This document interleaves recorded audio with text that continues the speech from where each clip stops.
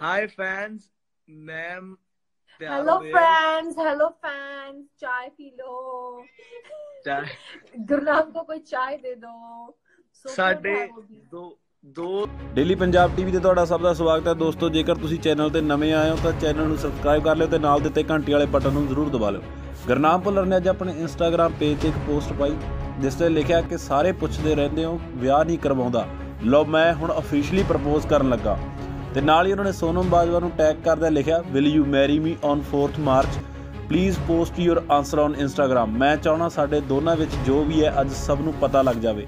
ਤੁਹਾਨੂੰ ਦੱਸ ਦਈਏ ਦੋਸਤੋ, ਇਸ ਦੇ ਜਵਾਬ ਵਿੱਚ ਸੋਨਮ ਬਾਜਵਾ ਨੇ ਇੱਕ ਪੋਸਟ ਪਾਈ, ਜਿਸ 'ਚ ਲਿਖਿਆ, ਗੁਰਨਾਮ, ਮੈਂ ਤਾਂ ਪਹਿਲਾਂ ਹੀ ਕਹਿਤਾ ਸੀ, ਮੈਂ ਵਿਆਹ ਨਹੀਂ ਕਰਵਾਉਣਾ ਤੇਰੇ ਨਾਲ।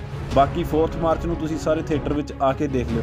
ਜੀ ਹਾਂ, ਅਸਲ 'ਚ ਦੋਵਾਂ ਦੀ ਫਿਲਮ ਆ ਰਹੀ ਹੈ, ਮੈਂ ਵਿਆਹ ਨਹੀਂ ਕਰਾਉਣਾ ਤੇਰੇ ਨਾਲ।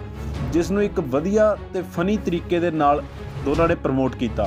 ਜਿਸ ਦਾ ਪੋਸਟਰ ਪਾਉਂਦਿਆਂ ਸੋਨਮ ਬਾਜਵਾ ਨੇ ਇਹ ਸਭ ਲਿਖਿਆ। ਤੁਹਾਨੂੰ ਇਹ ਦੋਨਾਂ ਦਾ ਤਰੀਕਾ ਕਿਵੇਂ ਲੱਗਿਆ?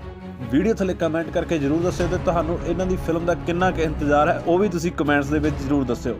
ਤੇ ਕੌਣ-ਕੌਣ ਦੋਵਾਂ ਨੂੰ ਪਿਆਰ ਕਰਦਾ ਹੈ ਵੀਡੀਓ ਨੂੰ ਲਾਈਕ ਤੇ ਸ਼ੇਅਰ ਕਰਕੇ ਜਰੂਰ ਦੱਸਿਓ। ਧੰਨਵਾਦ।